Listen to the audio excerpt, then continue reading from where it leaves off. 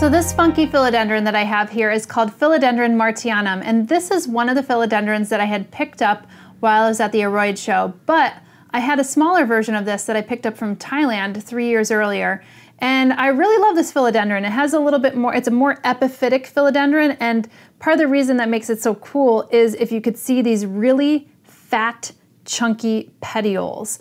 And this is something I would say, okay, it's actually being accustomed to drying out because it has this succulency um, to the little stems that are coming from, uh, from the, the leaf. And the leaf is actually quite sturdy uh, as far as a philodendron leaf goes. Now, this is a plant that's a little bit more epiphytic, so that means it's kind of growing on something else. It's accustomed to drying out. I have this one a little bit more in the grower's mix, but I am very cautious not to overwater this plant because I've found that if you actually have a tendency to overwater this plant, then it'll probably rot off at the base. So giving it a little bit more of a porous mixture, making sure that there could be a little bit more airflow if you don't have that much of a porous mixture to make sure that this plant actually dries out.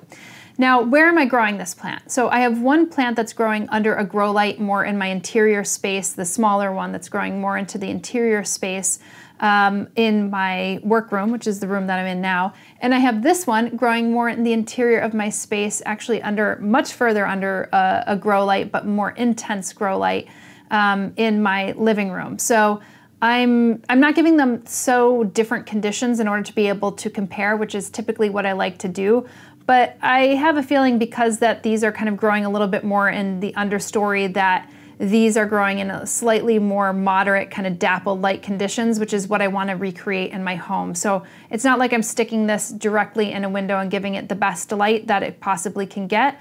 Although I would be curious if you actually are growing this philodendron in your house, what type of lighting conditions are you giving it? Because, like I said, I'm not growing it in two various different conditions, um, you know, as far as this plant goes, even though I have two different varieties.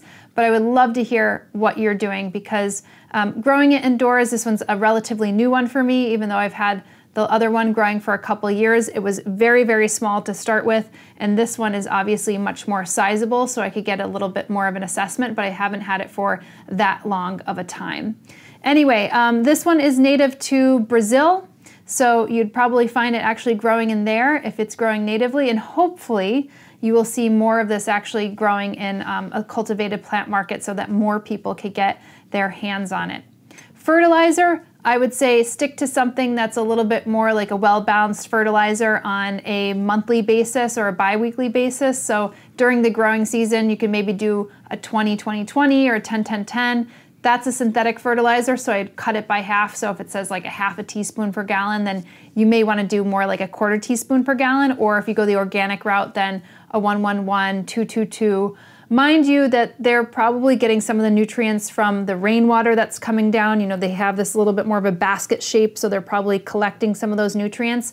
So hitting this up with some micronutrients once in a while is probably going to be a really good thing for this plant. And, um, and most plants for that matter, because plants do need a little bit more of that, that micronutrients. Now, as far as propagating this, you can probably cut this off at the stem. You'll see that there's like some little root, um, aerial roots that are kind of growing off here, and you could actually do, do that. Or you could, you could um, propagate it by seed. Of course, that will take a much longer time, so actually getting a cutting of this will probably be the way to go.